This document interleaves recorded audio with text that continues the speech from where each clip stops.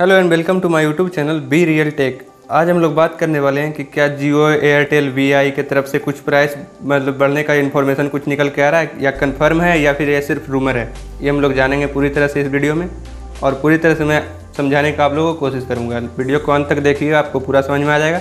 Video पसंद आए तो लाइक भी कीजिएगा। चैनल पर नए तो चैनल को सब्सक्राइब ज़रूर कीजिएगा। सबसे पहले हमें समझना होगा कि कोई भी कंपनी अगर प्राइस बढ़ा रही है अपने प्रोडक्ट को तो किस लिए? अपने फ़ायदे के लिए? तो फ़ायदा किस हिसाब से बांटती है? मतलब कैसे कंपनी पहचान करेगी कि मेरा फ़ायदा हो रहा है?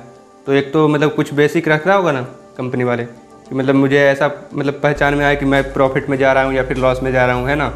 तो इसी को नापने के लिए मतलब कि मेजरिंग सिस्टम एक होता है, पर मतलब हर एक ब्रांड के लिए, हर एक कंपनी के लिए सेम होता है ए आर पी यू उसका फुल फॉर्म होता है एवरेज रेवेन्यू पर यूज़र मतलब एक यूज़र से एवरेज कितना रुपया कमाया जा सकता है? मतलब कमाया जा रहा है जियो के द्वारा एयरटेल के द्वारा वी के द्वारा अलग अलग कंपनी अपना बताती है हर एक बार।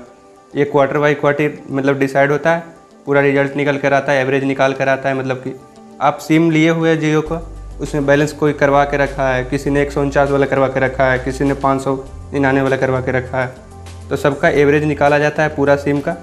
उसके बाद ए जारी किया जाता है हर एक क्वार्टर बाई क्वार्टर तो इसी को मतलब कि रिज़ल्ट निकल के आया और इसी से मतलब प्रोबेबिलिटी बनाया जा रहा है, ऐसा संभावना बनाया जा रहा है। कि अगले क्वार्टर में या फिर सितंबर वाले क्वार्टर में प्राइस बढ़ने वाले हैं सभी प्लान के। तो सबसे पहले आता है निकल के कि जियो की तरफ़ से मतलब कि जो दिसंबर 2020 का जो क्वार्टर में था, वो मतलब कमा रहे थे average revenue per user one fifty one rupees का, एक सौ इक्यावन रुपये कमा रहे थे एक यूज़र से एवरेज लेकिन इस बार जो मार्च में निकल के आया, मार्च 2021 का, इसमें उनका घट के हो गया एक सौ अड़तीस रुपया।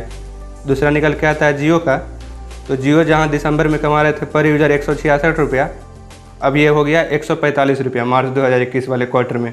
तो ये हम लोग को साफ़ दिख रहा है कि मतलब कि घट गया है मतलब एवरेज रेवेन्यू पर यूज़र बहुत सारा कंडीशन इसमें होता है, किसी का सिम का मतलब घट रहा है या फिर सिम हम लोग लेके रख लेते हैं, लेकिन उसमें बैलेंस नहीं करवाते हैं तो ए आर कंपनी का घट जाता है।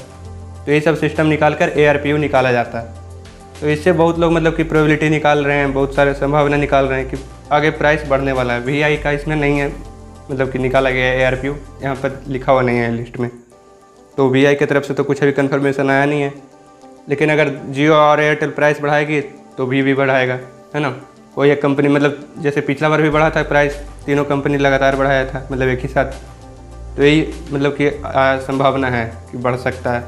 और बहुत ही ज़्यादा चांस लग रहा है कि सितंबर या अक्टूबर तक प्राइस बढ़ सकता है, क्योंकि ज़्यादा देर तो कंपनी तो अपना लॉस देखेगी नहीं। तो उम्मीद करता हूँ वीडियो आप लोग को अच्छा लगा वीडियो पसंद आया तो वीडियो को लाइक कीजिएगा। अगर अंत तक देखें तो पसंद ही आया होगा, इसलिए लाइक ज़रूर कीजिए और चैनल पर नए तो चैनल सब्सक्राइब ज़रूर कीजिए, क्योंकि हमारा सब्सक्राइबर अभी बहुत कम है तो प्लीज़ चैनल को सब्सक्राइब ज़रूर कीजिए। यहाँ तक देखने के लिए थैंक यू